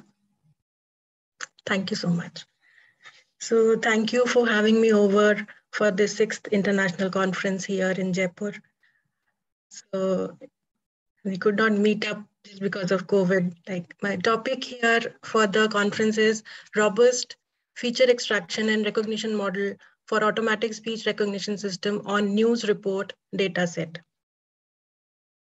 This is basically just a small um, version of my thesis on my PhD thesis on analysis of speech recognition systems for man-machine interaction. So just a part of the thesis has been shared here in uh, the presentation. So the outline of the presentation goes like introduction, we have related work, the methodology used, results, and then conclusion references. So first of all, what is automatic uh, speech recognition? The word itself suggests what is automatic speech recognition. The, the computer will recognize the machine that will understand the human speech. Those are, and it can convert it to the corresponding text. This is the hands are free to do, like we can do some other tasks. For example, the, we have Alexa, we have Siri, like many other Google assistants, which are working for us. Those, and moreover, speaking is faster than typing. So these are the uh, automatic speech recognition. Then various applications we already talked about, the uh, Google Voice search uh, engine, the automatic call processing, query-based information systems, and most importantly, the handicapped people. They, the, for example, the person is blind, he cannot, he can just narrate it whatever he wants to say. And another important application is the YouTube closed captioning, wherever captions are required. For example, these days we are watching, uh, for example, if you're watching a series on the Netflix and uh, you just can't understand the language, we have a the captioning uh, at the uh, below the uh, there, and um, the voicemail transcription also that is also another in Siri front end that is the most used that I myself used um, application of ASR. And uh, okay, the, so this is the, basically the, the last 80 decades of uh, the how it has grown this much from mechanical pedals to the neutral net neural networks and then the how voder was developed, the voice decoder or the voder vocoder, the electrical circuits for article product, production of speech, how the speech was produced in, um, uh, uh, in those days. So this this all was the production of speech. Now we are uh, what uh, we are doing is the uh, speech recognition. The first speech recognition system was developed in, by the Bell Labs in 1952 and it was just an isolated digit recognition to just recognize digits from let's say 0 to 9 and only a single speaker uh, it was dependent on the speaker as well then there was this shoebox machine. This was first displayed in the word fair uh, 1962 it could uh, understand 16 english words and it was it was also speaker dependent and only isolated word recognition. Isolated means that the speaker had to uh, give pauses between the words. The continuous speech could not be identified those times. And so uh, this is the uh, basically our um, workflow where we have used uh, the one dimensional signal. It is first of all, it is framed and blocked. How uh, the signal is framed and then it is blocked. This, it is segmented into n frames of n samples and uh, the m samples in adjacent blocks overlap by n m samples. Then they are in this uh, in the they are then then they are uh, passed on to the windowing step where the colliding frames are minimized. The window will uh, only allow the certain frames that would be uh, passed on to the Fourier uh, trans fast Fourier transform frame. So this will uh, basically convert it from the spatial frame into the frequency domain, and it will convert into frequency domain. Then the MEL frequency, the MEL, MEL scale. The MEL scale, it is a triangular filter bank is utilized to compute energy function. It's a bandpass filter that decides steady MEL frequency time. Then the discrete cosine transform is done. This, uh, this will help the log MEL spectrum to spatial domain and the DFT is desirable for coefficient estimation also. And this is the way that they are performed. Then uh, the next is the, the classification part. Here we have used the, the CNN as is uh, activating uh, the these are the input layers these are the hidden layers we have used two hidden layers here only and the output layers here. So it will uh, identify the variant features by non-linear downsampling. And this is the proposed uh, workflow so the uh, the database from the news reports that has been uh, the they may be audio, the text reports, etc. The, they are uh, sim, uh, uh, we have two sets. Like we have text also, we have audio signals. Then the pre-processing is done for both the signal feature extraction, classification, and then the performance evaluation for both the audio signal and the text signal is done. Now, this is the result that shows the iteration um, the elapsed time, accuracy, the loss, and the learning rate. So this is the performance and training, the features. And um, this is the confusion matrix, the existing AN and the proposed AN, CNN, sorry. So, and the next is the um, proposed CNN versus existing CNN. This is the comparison between existing CNN between you can see that the accuracy uh, of CNN uh, is 96.170 here, ANN is 76.98. This is the performance graph, the uh, ANN and the CNN. Thank you.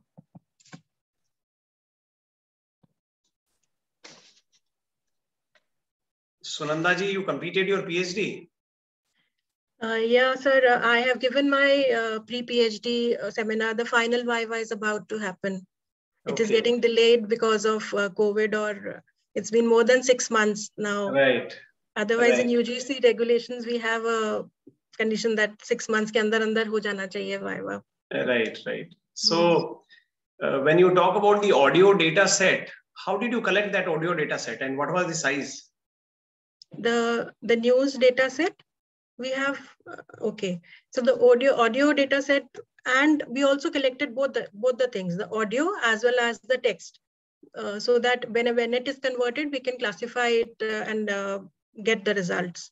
So both the no, things so were connected. I, am just trying to understand for curiosity. What do we mean by that audio data set? Is it some news bites you received from somewhere? Yes, yes, yes, yes. We have different news, like for example, sports news, entertainment news, uh say we have collected. From where did you collect those bytes or data set? Uh, like uh, this was actually the joint work of all the three uh, collaborators in this paper. Oh, so we, that is all right. Uh, so collection was also uh, basically just um, one of us uh, like I personally agar maine entertainment kiya to other person will collect the sports news and everything. So so you recorded it from radio? No, not from the radio. We downloaded it from the uh, YouTube पुराने जितने भी पुराने news वाले थे वहां से. So what what was the data set? Data set was around uh, we had around 9000 samples. So it could, uh, when you say automatic speech recognition means the reader's voice, it could identify? Yes.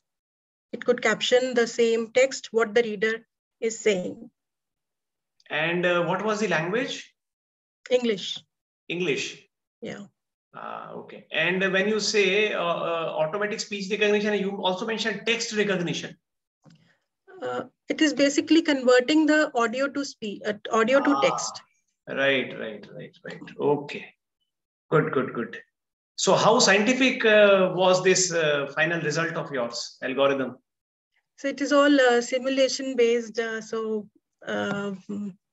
nothing as such for. Um, okay. Still, still into. Um, okay, oh, you are refining it further. Yeah. Thank you very much, and uh, we wish that uh, you get your PhD soon and you become Dr. Sunanda. Thank, you. Thank you, you very much. Thank you very much. All the best. Thank you, Professor. So Jay, I will take just, uh, it's already two o'clock. I will take two minutes more to conclude. Yes, sir. Uh, all presentation are done. So yeah, yeah, I would like to so, request you to do a session Yeah, just remarks. two minutes. Yes, sir. So, so thanks to the organizers of uh, the sixth international conference on ICTCS 2021 and SmartCom. Uh, in this uh, track that is fourth B, we had a total nine papers scheduled, out of which eight were presented in last two hours. We wish uh, we could listen to each presenter much more. They had worked very, very hard. One good thing which was there about this entire track was that highest number of uh, presenters were women, right? Except two. Six papers, two were male participants, six were women participants. So that shows that growing acceptance of research and academics among the uh, women members. So I'm so happy. Uh, second thing is that uh, there were engineering uh, faculty members also and management faculty members also, right? And there were full-fledged academicians also, and we had uh, uh, students who are pursuing PhD also, like Sunanda. I can see her right now here, smiling, right? So that's a good thing. Another thing which is a positive aspect is that contemporary topics like artificial intelligence or machine learning, right? Many of the participants presented in some or the other sector like healthcare or news part or, okay, all those things. Then uh, e-governance, which is the need of the hour in India and outside. Green IT, which is again the need of the hour, right? A lot of sectoral application like government and healthcare, media also came into picture. And one another interesting thing about this track was that there were behavioral dimensions like mental thoughts and consciousness and self schema. So ICT has its application across the domains. So quite happy, but uh, few causes of concern if people are listening. Uh, we as a faculty member uh, always exhort our students to ask a question and raise points and discuss the things in the class. But when it was a forum, when we could also ask a question and contribute something, uh, except me, uh, who was a chairperson or moderator, not a single question was asked or not a single point was raised by anybody. Everyone is academician here. So this is a point to ponder to all of us. Second thing where all of us need to think, I'm sure all of us are teaching to students and last two years, the classes are taking place in virtual mode. So we have seen the students turning off their cameras and we keep on asking the student to turn off their camera, but they don't do that. Very few. Same thing is being repeated here. when uh, somebody was presenting, he or she kept the camera on. Otherwise, entire two hours duration, uh, it's uh, my camera was on or Jay's camera and I or the presenter's camera at that, those five ten minutes and so. So I think if we expect this thing from the students, right, in undergraduate or postgraduate program, we also need to uh, show by example. So uh, that is some of my concern. All of us need to think. Uh, otherwise, personally, I have learned a lot and my good luck, best wishes to all of you for, for your wonderful career. And once again, thanks to the organizers for giving me opportunity. All the best. Jay, over to you. I sincerely thank our authors and for their excellent presentation in this session and uh, all participants to be being a part of the international conference. Uh, I hope this session was informative enough. It was. All participants uh, getting their digital certificate through email or all digital certificates uh, uh, within two working days. Uh, further, the papers already forwarded to the Springer for publication. The publication will be live within five to six months. Kindly cooperate with the team ICTCS and SmartCom. I also thank our session chair, Nityesh Bhatt, for chairing this session. Uh, sir, this is a token of appreciation uh, on behalf of team ICTCS Global Knowledge Foundation and SmartCom. Thank, thank you. Thank, thank you so you. much for valuable time, sir. Thank you. Now I'll request all to turn on their camera for a quick snapshot uh, for this virtual conference and making more memorable.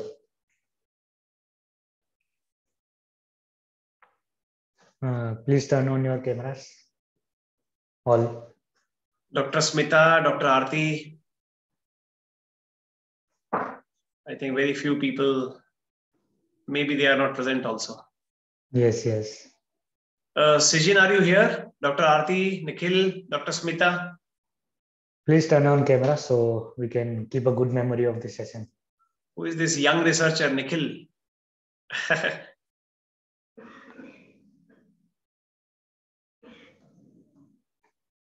Uh, I was in the afternoon session, so I just uh, came okay, in earlier. Okay. Good, good, good.